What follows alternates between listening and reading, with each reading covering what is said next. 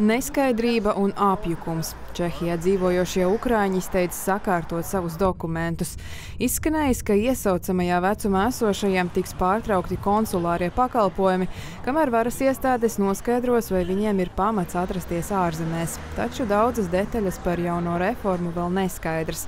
Tāpēc bažās par gaidāmo ir arī tie, kas ārpus valsts dzīvo jau sen. Šī ir vienīgā vieta, kur var pieteikties jaunai pasē. Tagad vēstniecība visus sūta uz rekrutēšanas centriem. Bet es nevaru doties uz rekrutēšanas centru Ukrajinā, jo viņi mani nelaidīs atpakaļ Čehijā. Šī man ir pastāvīgā dzīvesvieta. Es šeit maksāju nodokļus, bet tagad man ir problēma. Satraukušies arī tie, kas apmetušies uz dzīvi Polijā. Es jūtos slikti. Man šeit ir ģimene, sieva un bērni. Tagad man būs jābrauc uz Ukrajinu, lai pierādītu savu identitāti. Vai arī dokumenti tiks izdoti militārā rekrutēšanas centrā? Es nezinu. Man nekas vēl nav skaidrs.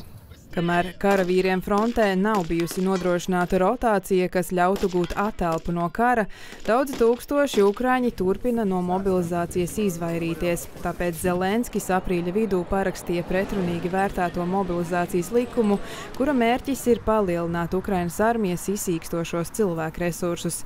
Likums paredz, ka visiem dienestam atbilstošajiem no maija vidus būs jāatjauno sava informācija elektroniskajā reģistrā. Daži no šiem cilvēkiem, starp citu, pameta Ukrainu vēl 90. gados vai 1000 gadus sākumā. Tāpēc būtu jārunā tikai par tiem ukrāņiem, kas pārkāpuši likumu, kas valsti pametuši bez atļaujas. Bet uh, Polijas interesēs ir viņus noturēt šeit, jo darba tirgus to pieprasa. No otras puses, mūsu interesēs ir arī viņu atgriešanās Ukrainā, jo ja Ukraina karu zaudētu, tas apdraudētu Poliju. Nav arī skaidrs, kā ar varu piespiest repatriēties tos, kas patiesi aizbēguši no iesaukuma armijā. Kā norāda Ukrainas parlamentārieši, iedzīvotājus deportēt var tikai tā valsts, kurā viņi uzturas. Par jauno mobilizācijas likumu Ukrainas parlamentā ilgi lauza šķēpus, likumprojektu grozot tūkstošiem reižu. Centienos mazināt ienaidnieka skaitlisko pārsvaru, paplašinātas arī varas iestāžu pilnvaras izdot pavēstis, kā arī noteikti sodi par izvairīšanos no armijas. Paula Markusa, Latvijas televīzija.